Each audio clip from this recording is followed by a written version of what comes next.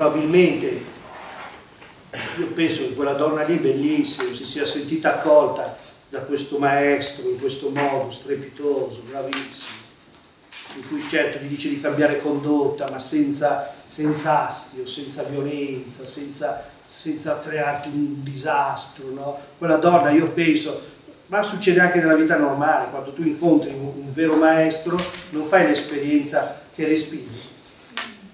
Ho incontrato uno oh che bello, ho incontrato uno, che bello con quello lì, bello stare con quello lì, parlare con quello lì. I cristiani abitano nel mondo, ma non. Ora io dico sempre, adesso posso dire tanto dico, che se uno mettesse una, una macchina fotografica all'uscita da messa, un marziano, mettiamo un marziano, no? che viene sulla terra e dice proviamo a vedere qui, questi qui cosa fanno. Mette un marziano e dice no, no, questi qui non possono essere.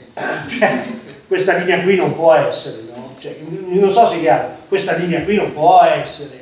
Escono da messa con il muso appeso, no? Tutti arrabbiati, sempre così. Cos'è che cambia? Dice no, no, questo qui fra le varie ipotesi sul mercato ci sarà, bisogna andare da parlare Krishna magari, bisogna andare da qualche un altro. Questi qui sono troppo, troppo, non può essere così, non può essere così una volta, cioè, questa idea purtroppo, adesso devo dire, molti giovani ce l'hanno, sta attento che Dio ti guarda, eh, la miseria, guarda me, con tutto quello che c'è da fare. Cioè, io mi, mi, sono appartato con la mia segretaria nel boschetto e lui guarda me, eh, la miseria. Cioè questo senso di oppressione su ogni cosa, no, oh mamma mia, dice un Dio così non può essere. Un Dio così non è credibile è un Dio credibile, uno che, che tu inizi a respirare, ma è bellissima sta cosa. Io infatti rimango veramente sorpreso quando a volte parlo con dei ragazzi e vi dicendo, per me è esattamente l'opposto dell'idea che, che, mi dicono, ma anche gente anche adulta, e quando parlo del cristianesimo ne parlo nell'ordine della castrazione e della rinuncia. Per me è esattamente l'opposto, io non so come dire. Eh, no, ma, ma, a livello intellettuale, non nella mia vita, eh, perché io non parlo mai della mia vita, io dico a livello intellettuale è esattamente l'opposto. Il cristianesimo è un'esperienza di liberazione ed è un'esperienza di incarnazione. Dobbiamo mangiare, vivere, godere, essere contenti, baciarci, è l'opposto. E se qualche volta per alcuni. Può essere che per alcuni, in alcuni momenti, ma questo è ovvio, eh, non è che tu mangi tutti i giorni la lasagna con, con l'aragosta, no? Eh, in alcuni momenti si può anche non mangiare l'aragosta, si può anche fare il digiuno, ma non è il digiuno, non è il digiuno, quello è uno strumento, no? Allora, no, perché l'ho già detta che questa scenetta che faccio sempre, ma è una scenetta, adesso le suore mi eccitano. No, no, no, nel senso che mi fa venire in mente delle robe, le suore. No, meno male, no. Come diceva una suora, dice, ma io sono ancora una donna. Allora dice, no, mi viene in mente, cioè, qua ripeto, cioè, tu alla fine, io immagino la scena, io me la immagino la scena che appunto eh, si, si, si va, eh, si muore, uno va lì, eh, la monaca di clausura va lì, lì incontra Dio, dice come va? Dio dice come va? E dice va abbastanza bene, e poi dice Dio dice, e allora cosa hai fatto? E dice come l'hai fatto? Non lo sai, io sono andato in clausura. Ah veramente, dice Dio, adesso faccio io. Dice veramente andato in clausura? Dice eh sì, per te per me. Scusa, ma, ma chi te l'ha detto? Come me l'hanno detto? Eh, me l'hanno detto i padri spirituali, no? Siccome non trovavo il fidanzato, allora mi hanno detto che forse Dio mi sta dicendo qualcos'altro. Cioè, figuriamoci che bella idea di vocazione. Cioè, non trovi il fidanzato, devi andare in clausura. Allora dice, io sono andato in clausura per te. E lui dirà, dissi, questo sono sicuro che dirà dice guarda mi dispiace ma io veramente io non ci pensavo minimamente, perché io voglio, volevo che tu fossi contento. E se forse tu hai scelto di andare in clausura, era perché quella era la tua strada per essere contento.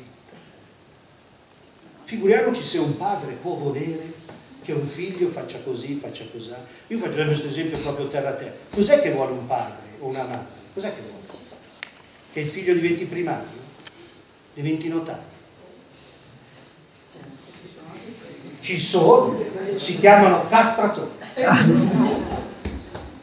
Ma uno dice, cos'è che vuole? No, non lo so, non lo so cosa vuole, voglio, io solo so che, che lui stia bene. Che lui stia bene. Poi dopo, come lui, bellissimo, povere suore. Ho detto, ma ascolta, ma noi ci hanno detto che noi, che tu avevi bisogno di 3500 spose di Cristo, sapete questa storia qua? No? Ogni anno 3500 spose di Cristo, a parte che dice, no, siete sbagliati. D'altra parte, se c'è un pettegolezzo che gira nel mondo, è su Dio, no? Il pettegolezzo è su Dio. In questo senso è interessante che Gesù venga giustamente interpretato come la parola di Dio. Gesù è quello che mette fine al pettegolezzo su Dio. Bello. È colui che mette fine ai pettegolezzi su Dio. Eh, cioè, punto. Poi dice, e infatti, qui siamo al settimo, sta affrontando Dio e il Verbo. Ma cavolo, pazzesco, perché dice, non già mandando come qualcuno potrebbe pensare, qualche servo o angelo o principe o uno di coloro che sono preposti alle cose di, spiego, quando si dice, devo dire che c'è anche nella liturgia sta cosa qua, ma sbagliano, però adesso non voglio dire. Quando si dice che Gesù è mediatore, Gesù non è mediatore. Gesù non è il mediatore tra l'uomo e Dio, ma siamo matti. Gesù è Dio e uomo, non è il mediatore. il mediatore è quello dell'ONU. Mi seguite? È chiaro il mediatore dell'ONU? Cioè l'ONU ha un problema manda il mediatore, ci siamo? Il mediatore va lì e dice voi dovete fare così, va così, poi il mediatore cosa fa? Se ne torna a casa, mi seguite? Ma non è così. Non è un mediatore, si è incarnato. E io penso che sia stata una mossa enorme questa. Perché qual è l'obiezione che l'uomo ha sempre rivolto a Dio? Qual è l'obiezione? L'obiezione seria che l'uomo ha rivolto a Dio qual è? Tu non puoi capire. Tu non puoi capire. Tu puoi essere Dio, ma non puoi capire che cos'è quando tuo figlio muore su una spiaggia.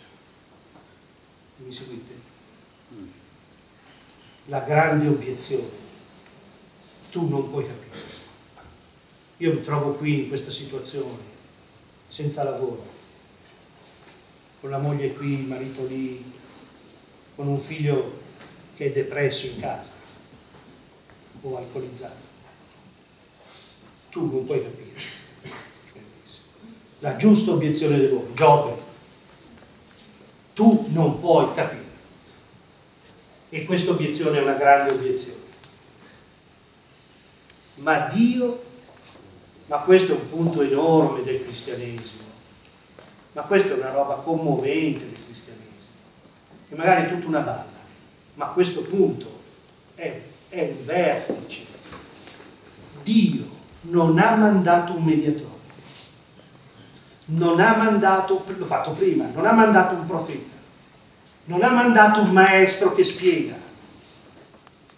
Se avesse fatto così non sarebbe stato credibile, non so se è chiaro, perché è sempre dall'esterno. Ora noi possiamo non credere a Dio, ma non possiamo più fare l'obiezione, tu non puoi capire, non so se è chiaro perché è morto in croce. Possiamo non crederci, ma l'obiezione tu non puoi capire non è, più release questa cosa che ritorna alla questione dell'incarnazione, che è tutto il centro di questa lettera. Eh. certo, questo è il punto. Non già mandando, come qualcuno potrebbe pensare, qualche suo servo, o angelo, o principe. Eh, non è un angelo Gesù. Non è un angelo. Ma questo è quello che lo rende pazzesco, perché vuol dire che quando io sono triste o innamorato, lui mi può capire, perché lui si sarà innamorato, sicuramente, e avrà avuto mal di pancia, e avrà avuto qualche bel dubbio, e avrà avuto qualche bel dubbio, e avrà avuto qualche bella incertezza perché sennò che uomo sarebbe stato? Noi non ci crediamo. Io faccio fatica a credere che lui è veramente uomo. Veramente uomo. Non per finta. È un'eresia. Eh? Non si è preso momentaneamente la carne come un abito. Non ha fatto così. Fino in fondo. È bellissimo che vuol dire che quindi ha a che fare col tuo prurito, capito? Col prurito, sotto l'ascella. Cioè, bellissimo. O un angelo, o un principe, o uno di coloro che sono preposti alle cose terrene, ma mandando lo stesso artefice e fattore di tutte le cose, per cui creò i cieli e chiuse il mare, e le sue sponde le E qui poi c'è il punto pazzesco, perché questo è, questa è la seconda cosa. La prima cosa è questo tema dell'incarnazione impressionante, incomprensibile, difficilissimo. Perché dire incarnazione vuol dire che, che Dio ha a che fare con la mia pasta e fagioli. Io lo continuo a dire notizia. E capite che è una notizia enorme, perché se Dio ha a che fare con la mia pasta e fagioli, la mia pasta e fagioli ha a che fare con Dio. Non so se è chiaro. Chiaro? E quindi io quando faccio la pasta ai fagioli non lo so, ma ho a che fare con Dio. Quando bacio ho a che fare con Dio. Quando studio, che è l'unico motivo per cui vi dico che bisogna studiare bene. Ma perché devi studiare bene? Ma perché devi studiare bene? Per prendere 30? Ma perché devi baciare bene? Devi preparare bene la pasta? Ma per questa cosa tu non ci pensi. Noi non ci pensiamo, ma mentre fai la pasta, se lui si è incarnato, se lui si è incarnato, mentre fai la pasta è a che fare con Dio, col mistero della vita, di tutte quelle robe lì. Mentre dormi, mentre ti lavi i piedi, cioè, cioè impressionante, incredibile da un certo punto di vista. E allora dice, la seconda parte però è questa. Forse, come qualcuno potrebbe pensare, siamo sempre al 7-3, lo inviò per la tirannide, il timore la prostrazione? No c'è, ma nella mitezza e nella bontà, è impressionante, come un re manda suo figlio, lo inviò come Dio e come uomo per gli uomini, lo mandò come chi salva, per persuadere e non per fare violenza a Dio non si addice la violenza, ma è meraviglioso. Cioè questa cosa qui è meravigliosa. Questa cosa è meravigliosa. Cioè non solo nell'incarnazione, è il problema che tutto quello che noi siamo, anche le cose minime, la pasta e fagioli, il bacio, sono tutti... Ma addirittura questa venuta non è, venuta, questa venuta non è per il giudizio, non è per un giudizio ci vuole bene, è incredibile, ci vuole bene. È impressionante. Perché dico che è impressionante? Perché in tutte le storie delle religioni l'uomo se l'è fatta sotto col rapporto con Dio, no? E certo, tu hai paura di Dio. Io infatti sostengo, e l'ho anche scritto, giusto? Che la religione, la religione è un sistema di protezione da Dio. Certo, la religione è un grande sistema di protezione da Dio, perché Dio te la fa fare sotto. Dio è pericoloso, così come, come l'uomo lo pensa, e certo, c'è il terremoto, c'è l'uragano, e viene la, la, la pestilenza, no? Ci siamo? Dio, una roba che tu te la fai sotto, no? E l'uomo infatti ha inventato la religione ad un tempo sia per stare in rapporto con lui sia anche per dire per favore se puoi stare che è King Kong no? ricordate King Kong? il film King Kong eh? no i ragazzi non l'hanno visto King Kong l'avete visto? vedi che lei dice di no è fondamentale King Kong eh? quando King Kong il bestione periodicamente viene a bussare alla porta dell'umano, no? Ci siamo? Bellissimo. Il bestione periodicamente viene a bussare alla porta dell'umano. E cosa fanno? Cosa fanno col bestione? Giustamente, gli danno una vergine così si calma, no? È bellissimo. Per un anno stiamo a posto, no? Col bestione. Infatti l'uomo ha inventato i sacrifici umani, o no? Ha iniziato a sgozzare, sperando di dire, ma questo Dio così pericoloso, almeno gli do da bere, gli do da bere il sangue, così si calma, o no? Ma capite cosa ha fatto l'uomo che ha inventato il sacrificio umano? E perché l'ha inventato? Perché è scemo? No, perché se la fa sotto l'uomo. E allora dice, con un Dio così pericoloso, io lo devo tenere calmo, no? E come lo tengo calmo? Con la cosa più preziosa che ho. E cos'è la cosa più preziosa che ho? La vita. E che cos'è la cosa più preziosa della vita? La vita del figlio. Agamennone. Che deve vincere la guerra in Troia e sacrifica la figlia, giusto? Perché così gli dei sono dalla sua parte. Dio è un tipaggio. Gesù dice no, dice che non è vero, che Dio è un tipaggio, è la grande pettegolezzo su Dio, ma non è un pettegolezzo nato a caso.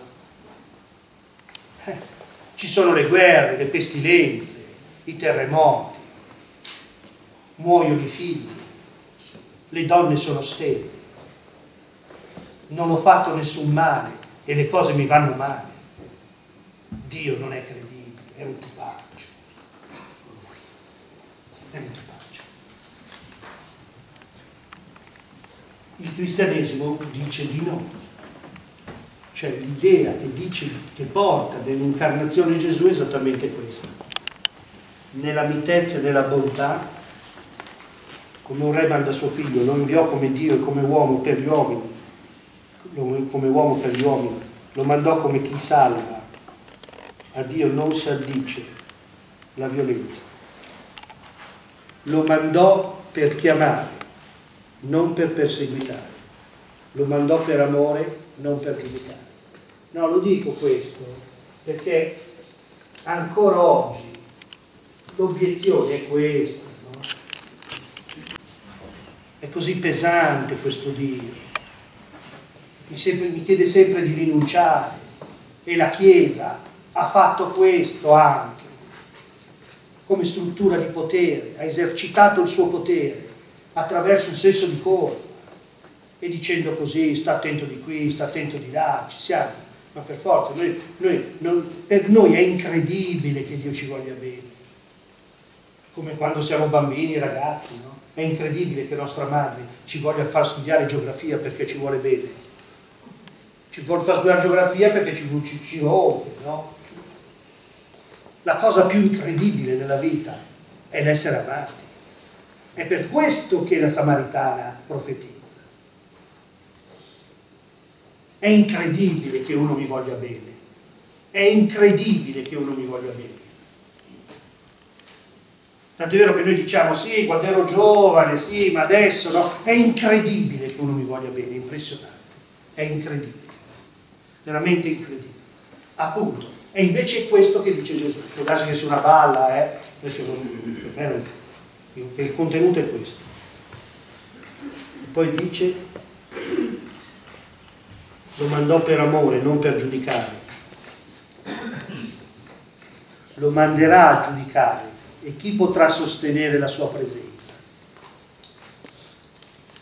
Questo è interessante, perché chi potrà sostenere la sua presenza vuol dire chi potrà sostenere questa offerta d'amore. Mi seguite? Non so se è chiaro. Eh? Eh. Perché se mi... è chiaro? Cioè se mi dice che io ho sbagliato, io lo sostengo. E se mi dice io ti amo, non lo sostengo. Non so se è chiaro. Se mi dice qua tu hai sbagliato, tu hai fatto, io dico, vabbè, io cioè, penso, dico, eh sì, tu dici così, ma io ho fatto così, lo dicendo. No? Ma nel momento, appunto, ripeto, io dico così sempre, dico così. Dico sempre così che in fondo noi continuiamo a dire una cosa. Noi continuiamo a dire una cosa. Noi continuiamo a dire che non c'è ciò che, che, chiediamo nella vita è essere amati, no? Noi continuiamo a dire così, le persone. Cosa, cosa hai bisogno? Di essere amato. Noi diciamo, in realtà il più delle volte noi vogliamo essere posseduti, non amati. Quello che chiediamo è di essere posseduti, non di essere amati. È il momento in cui uno ti ama che veramente tu sbagli. È incredibile. Essere amati è veramente incredibile. Essere posseduti invece, bello, posseduto. E qui dopo dice, vabbè, lo manderà a giudicare chi potrà sostenere la sua presenza. Non vedi i cristiani che gettati alle fiere perché rinneghino il Signore non si lasciano vincere. E qui c'è la Samaritana.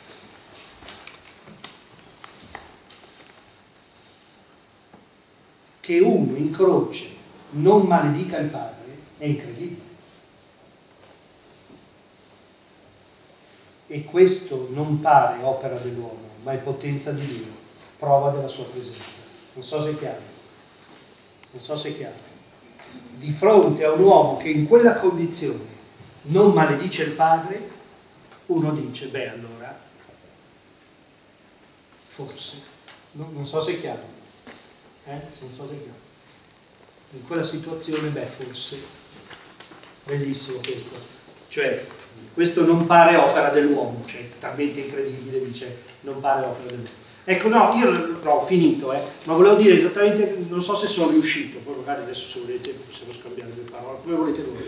Non so se sono riuscito, che esattamente lo spostamento non parla di Dio, questa, questa cosa parla degli uomini, parla dei cristiani, del modo di vivere, del modo di vivere loro. E cerca di fare queste leggi. Se, fosse, se noi fossimo così sarebbe a posto, cioè, Ma io penso che un po' noi siamo così, io non sono così pessimista. Io credo che questa esperienza duri da duemila anni perché ci sono, stati, ci sono uomini così, se no non sarebbe durata. No? Dura da duemila anni perché ci sono uomini lieti, ci sono uomini in letizia, magari sono nel Chiapas, nelle favelas, ma sono ancora in grado di bere un bicchiere di vino ed essere lieti, no? Eh? In clausura essere contenti, non è bello. Non tanto. No, non... Grazie.